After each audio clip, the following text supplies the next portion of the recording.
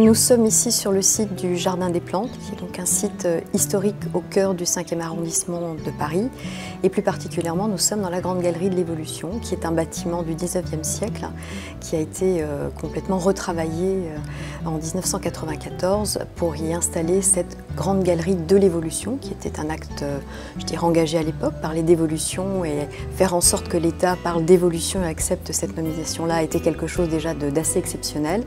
Et donc ce bâtiment a été intégralement revu, corrigé par des architectes qui étaient Paul Chemetov et Bora Hudobro en 1994 pour euh, réviser euh, la présentation de la biodiversité, des facteurs d'évolution et de la place de l'homme et du rôle de l'homme dans cette évolution. Visiter la grande galerie de, l'évolution, c'est euh, tel que ça l'avait été imaginé en, 1994 par les, architectes, c'est d'abord une émotion. Jusqu'au moment où, il y a maintenant trois ans à peu près, la direction générale du muséum a souhaité véritablement réinvestir tout ça et faire en sorte que le son et lumière redeviennent une réalité pour, pour le visiteur.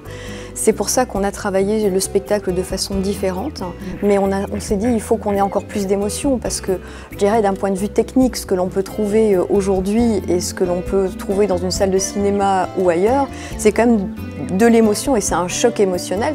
Donc finalement on s'est dit ben, après tout on est dans un environnement qui est là pour rappeler le milieu naturel. Donc faisons en sorte que euh, eh ben, qu'on puisse recréer un rythme jour-nuit. Donc on travaille sur un spectacle qui dure 1h15 minutes. On a recréé en fait euh, une journée type du lever du soleil jusqu'au coucher. Euh, donc il y a une petite séquence d'orage.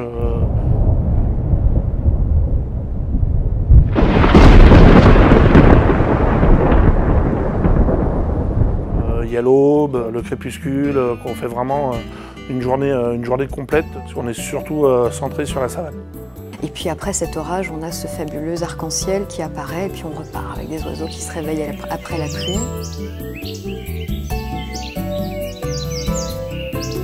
En fait, cette galerie passe par des, niveaux de couleurs extrêmement marqués qu'on a travaillé avec une scénographe qui s'appelle Stéphanie Daniel, qui a retravaillé tout ce, ce programme d'une heure et quart et avec qui on a poussé en fait les couleurs et poussé la technique de façon à ce qu'on ait des, oranges euh, des oranges éclatants et puis du rose fluo parce que dans la nature un coucher de soleil ben, il est rose fluo. En Afrique c'est à ça qui ressemble.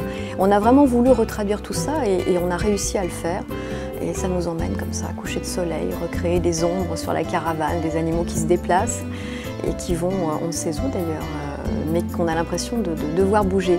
Donc on se rend compte que que, ce spectacle-là fonctionne plutôt, euh, plutôt, plutôt pas mal hein, avec les, visiteurs et on a le sentiment en tout cas que, globalement ils, ressentent qu'il se passe quelque chose à la fois à travers le son et à travers l'éclairage qui a été mis en place.